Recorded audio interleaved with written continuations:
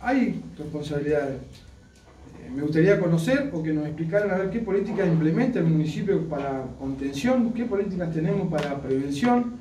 Cuando existe un barrio y a, 100 metros de, esto, de este hecho donde ocurrió, eh, tenemos una cancha o una ex cancha donde está abandonado, un predio totalmente abandonado, donde podemos invertir, donde podemos generar espacio para poder darle contención a todos estos chicos eh, que están en la calle. Yo creo que la responsabilidad, eh, siempre lo dije, la responsabilidad es compartida y no buscar culpables. También aclarar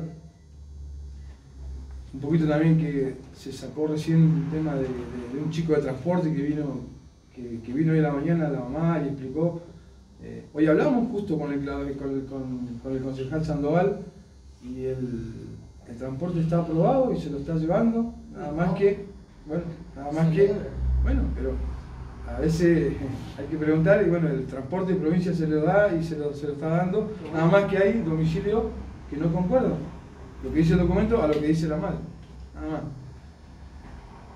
Y bueno, eso, simplemente decir que que la responsabilidad es de todos. Seguramente que lo, que dice Claudio, que todos hemos fallado. Nosotros hemos hecho miles de, pedidos de informe a, instituciones y tal vez no la hemos, no hemos quedado ahí.